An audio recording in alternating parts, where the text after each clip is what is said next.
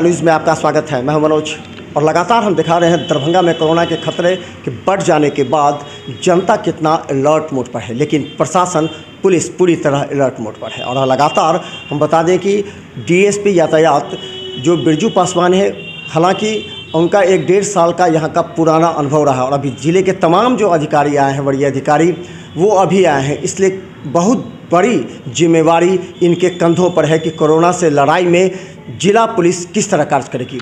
तो हमारे साथ बिरजू पासवान जी आ, आपके कंधों पर एक बड़ी जिम्मेवारी आती है अभी के समय में क्योंकि सभी नए अधिकारी आए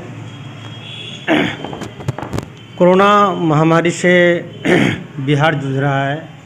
दरभंगा में भी सीनियर एसपी साहब को हो गया है डीडीसी साहब को हो गया है कई जुडिशियल पदाधिकारी भी इससे पीड़ित हैं।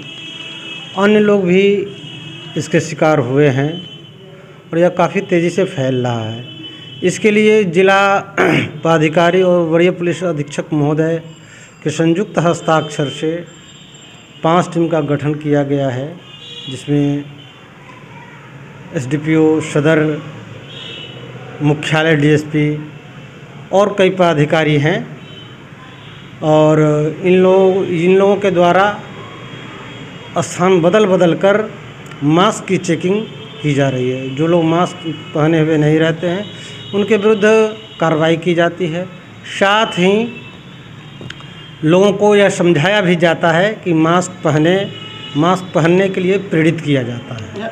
एक एक अहम सवाल ये था कि आप 20 और 21 दोनों में देख चुके हैं और आप जानते हैं कि लोग कितने जिद्दी किस्म के हैं।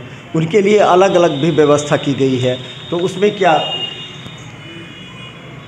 उस टीम में ट्रैफ़िक पुलिस का नहीं है लेकिन हम अपने स्तर से हर पॉइंट पर जहाँ जहाँ पुलिस है जहाँ जहाँ पर मेरा पदाधिकारी है वहाँ पर लोगों को सख्त निर्देश दे रखे हैं कि लोगों को मास्क पहनने के लिए प्रेरित करें। और जो सरकार द्वारा नाइट कर्फ्यू लागू है उसका सख्ती से पालन किया जा रहा है। हम अपनी गाड़ी में प्रचार भी कर रहे हैं। कि लोग मास्क पहने जागरूकता फैलाई जा रही है लोगों को इससे अवगत कराया भी जा रहा है। अच्छा आप देखा था पिछली बार भी जो एसडीओ थे डीएसपी थे आप लोगों ने मिल करके कई मॉल को भी सील कर दिया था। तो अभी कई मॉल में अमूमन वही स्थिति है एक मॉल को सील भी किया गया है।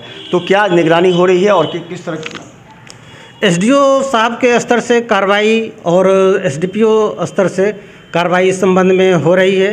हम हमें याद है कि पिछले बार जब दूसरे स्टेट से लोग ट्रेन से आ रहे थे तो लगभग 20 दिन हम भी स्टेशन पर रह कर के ड्यूटी किए थे और लोगों को कोरोना से कैसे निजात दिलाया गया था, दरभंगा प्रशासन पूरी अब शक्ति उस समय में झोंक दी थी।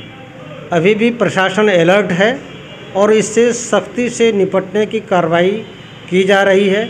हम एनजीओ से भी कुछ बात किए हैं, जो एनजीओ अपनी कर्मियों के साथ विभिन्न चौक चौराहों पर जिनके पास मास्क नहीं रहता है उन्हें मास्क देता है और उन्हें समझाया जाता है कि मास्क पहनने मास्क पहनने के लिए प्रेरित किया जाता है। एक, एक अहम सवाल है कि जब यातायात थाना की स्थापना हुई थी उस समय पुलिस बल की संख्या और अब के पुलिस बल की, क्योंकि सड़कों पर अगर दिख रहा है तो यातायात पुलिस दिखती है। दरभंगा पुलिस की अलग सीमाएँ हैं, लेकिन यातायात पुलिस की अलग अलग सीमाएँ हैं विभिन्न चौक चौराहों पर लेकर के सड़कों पर। तो कितने पुलिस, यातायात पुलिस में अभी जवान हैं आपके पास, जिन लोगों से काम लिए जा रहे हैं?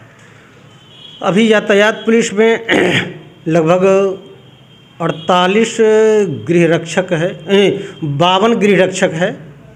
और चार जिला का जवान मतलब बिहार पुलिस कार्यरत है। इसके अलावा तीन पदाधिकारी और एक थाना अध्यक्ष के रूप में कार्यरत है।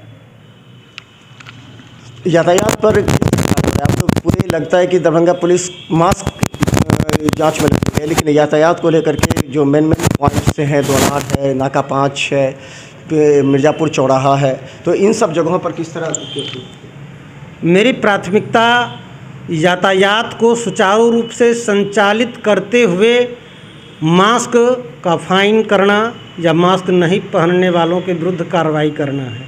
ऐसी बात नहीं कि यातायात की व्यवस्था को हम दूसरे पादान पर रखें। हैं यह मूल प्राथमिकता है। इसके अलावा मास्क के विरुद्ध भी हम कार्रवाई कर रहे हैं। मास्क नहीं पहनने वालों के विरुद्ध फाइन काटा जा रहा है। तो हम बता दें, हमारे साथ बिरजू पासवान इन्हें पूर्व का अनुभव रहा है, जो 20 और 21 में इन्होंने पूरी तरह कार्य किया था।